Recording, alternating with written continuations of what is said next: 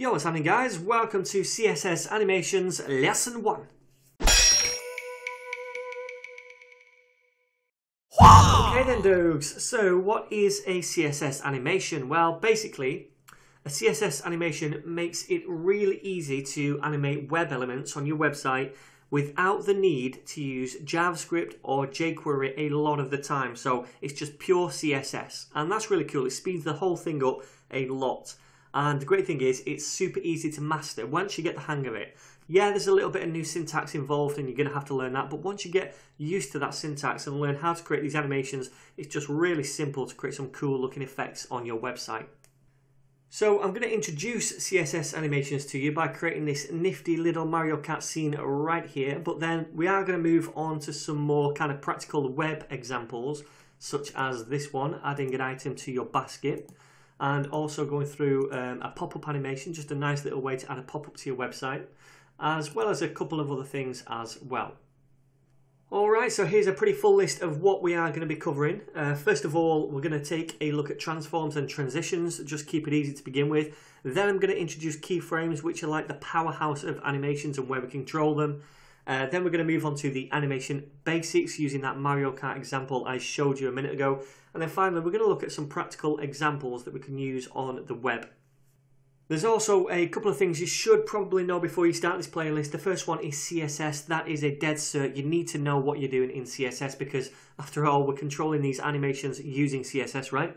Uh, the second one is HTML. Again, we're going to be controlling HTML elements. They're the things that are going to be animating on the page, so it's probably going to be a good idea if you know a little bit of that as well.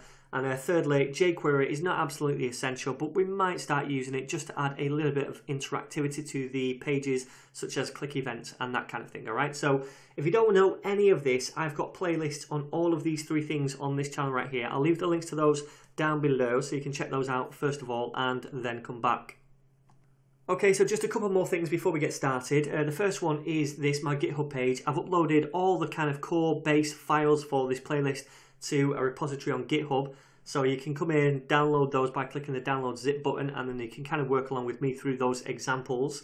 Uh, I'll leave the link to this page down below.